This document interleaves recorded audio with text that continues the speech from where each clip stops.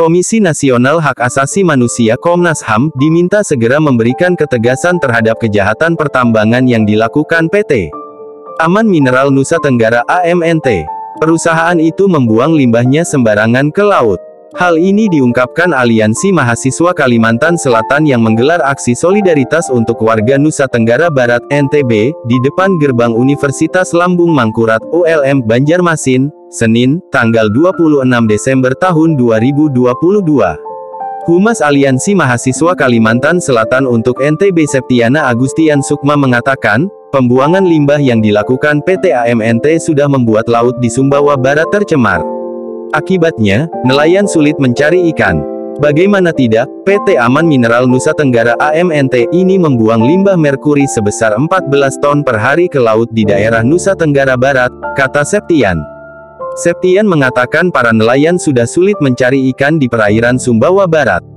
Kesejahteraan masyarakat di sana kini terancam walhasil daripada limbah merkuri tersebut membuat kerusakan pada biota laut, kemudian yang lebih parahnya lagi menyulitkan nelayan untuk mencari ikan karena harus lebih jauh berlayar dalam mencari ikan hingga ke Samudera Australia, ucap Septian. Septian juga mengatakan ada permasalahan dana CSR 120 miliar rupiah yang tidak jelas penggunaannya. Padahal, uang itu bisa digunakan untuk meningkatkan sumber daya manusia SDM Sumbawa Barat yang berkualitas. Selain itu, Komnas HAM juga diminta membantu para pekerja mendapatkan haknya di PT AMNT. Perusahaan itu mengekang hak para pekerja. Secara histori dari tahun 2018 warga lokal Sumbawa Barat, Nusa Tenggara Barat sudah melakukan perlawanan saat PT Yumon Nusa Tenggara NNT, hingga diakuisisi oleh PT AMNT.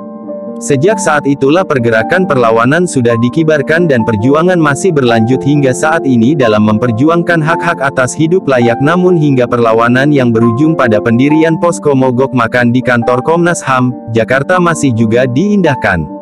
Dengan adanya kezoliman yang telah dilakukan oleh PT Aman Mineral Nusa Tenggara atas kebijakan-kebijakan yang kontradiktif dengan konstitusi negara dalam asas HAM dan ketenaga kerjaan yang berdampak pada nasib hajat orang banyak, kata Septian.